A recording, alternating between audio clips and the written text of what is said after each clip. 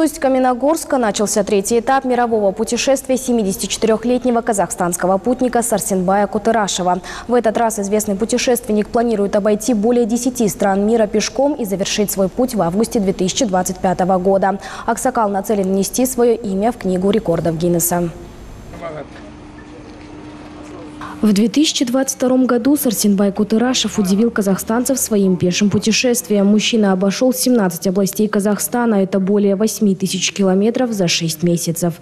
Аксакал умело пользуется современными гаджетами и ведет активную страницу в социальных сетях, где публикует свои дальние путешествия.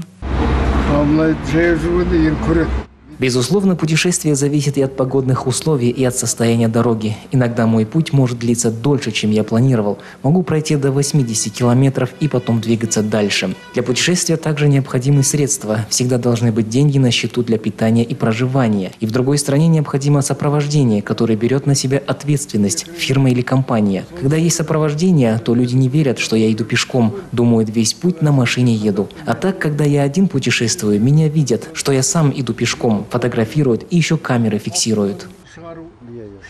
Третий этап путешествия Аксакал начал с Усть-Каменогорска и отправился по маршруту Казахстан, Россия, Грузия, Турция, Болгария, Сербия, Венгрия, Австрия, Германия, Франция, США, Китай, Монголия, Россия, Казахстан.